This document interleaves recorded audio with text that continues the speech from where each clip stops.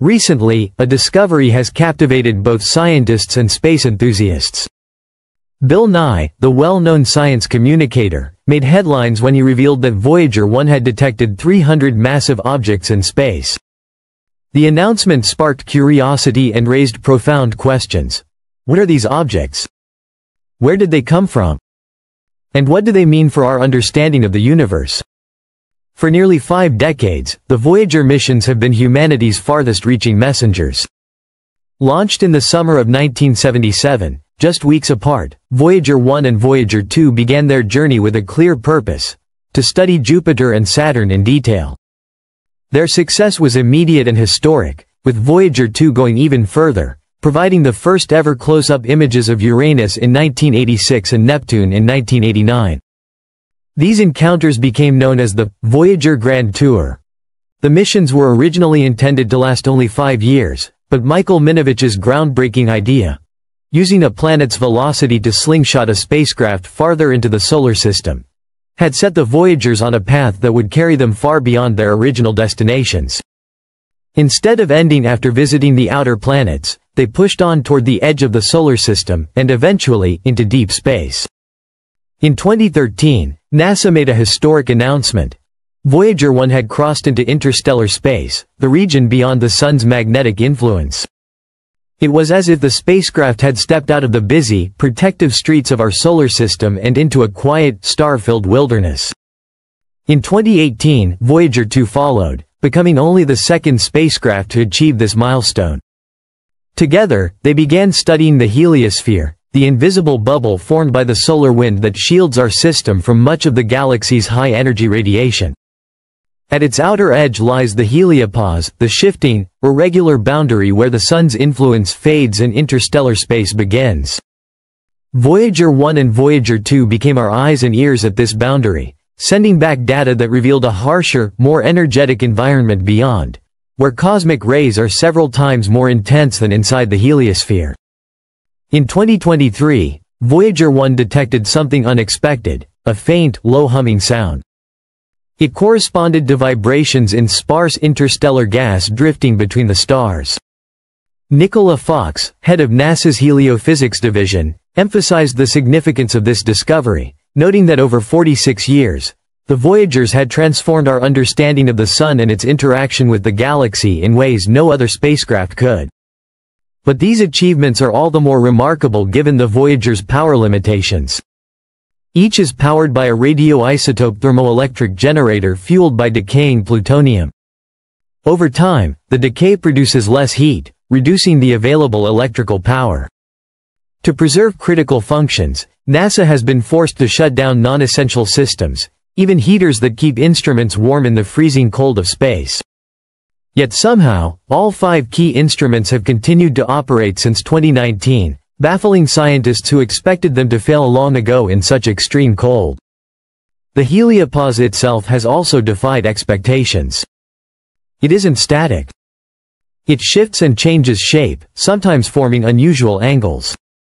Over the past decade, observations from the Voyagers and NASA's Interstellar Boundary Explorer, IBEX, have revealed significant movements in this boundary. In 2014, IBEX recorded a sudden brightening of energetic particles, hinting at irregularities that didn't fit existing models. An unexpected twist in what had been thought to be a relatively stable structure. These shifts may even explain why Voyager 1 entered interstellar space in 2012 while Voyager 2 crossed six years later. Such anomalies have fueled debate among scientists, with some suggesting that our understanding of the heliopause's behavior is far from complete. NASA hopes to answer more questions with the upcoming Interstellar Mapping and Acceleration Probe, IMAP, scheduled for launch in 2025. Meanwhile, the mysteries keep coming.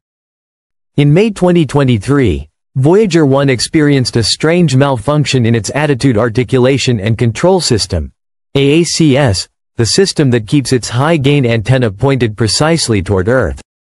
The data being sent back suddenly became confused and seemingly random, as if the spacecraft had developed a kind of electronic aphasia.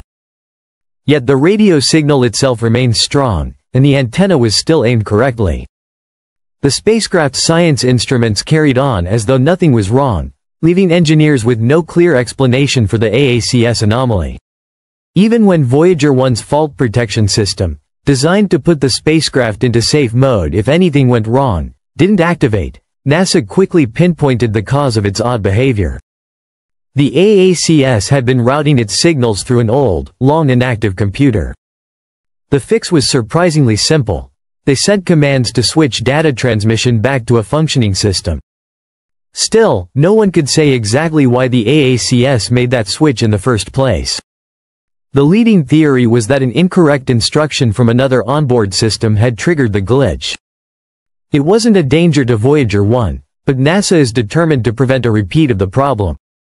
By now, Voyager 1 has been traveling through interstellar space for more than 10 years, far beyond the Sun's magnetic shield. That shield acts much like Earth's magnetic field, helping protect spacecraft from cosmic rays and high-energy radiation.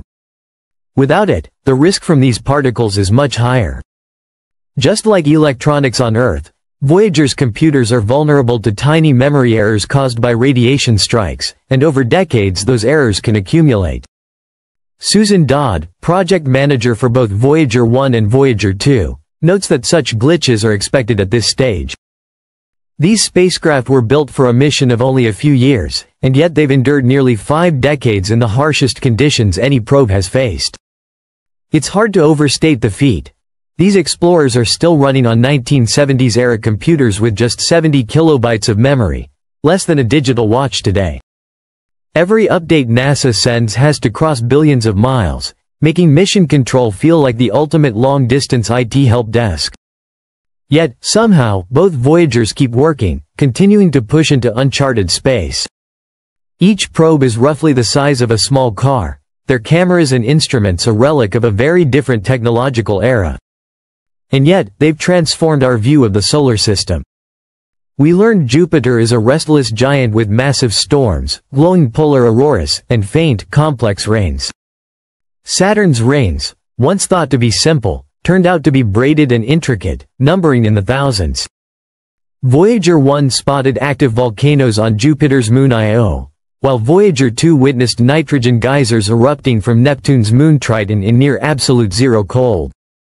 Even more tantalizing, they revealed evidence of vast underground oceans on Europa and Enceladus, potential homes for alien life. Perhaps their most poetic achievement came in 1990 when, at Carl Sagan's suggestion, Voyager 1 turned its camera homeward for the famous, pale blue dot, image. A tiny speck of Earth suspended in the darkness, captured from over 4 billion miles away. That picture became a humbling reminder of our fragility in the vastness of space. In 2012, Voyager 1 crossed into the interstellar medium, followed by Voyager 2 in 2018. Now so far from home that it takes nearly a full day for their signals to reach Earth. The probes are still adding 3 to 4 light seconds of distance every single day. NASA's Deep Space Network listens to their faint signals, tiny whispers amid the radio noise of Earth, and pulls back data about a region no spacecraft had ever visited before. The entire mission was made possible by a rare planetary alignment discovered in the 1960s. Using gravitational assists from multiple worlds, a spacecraft could reach Neptune in just 12 years instead of 30. Budget limits forced NASA to scale back the full, grand tour that had been planned, but the Voyagers still went further than anyone could have imagined. Nearly half a century later, they are humanity's farthest and most enduring explorers, carrying our curiosity into the deep beyond. Their story is a reminder that even the simplest technology, when built with care and purpose, can change our understanding of the universe, and keep exploring long after anyone thought it possible.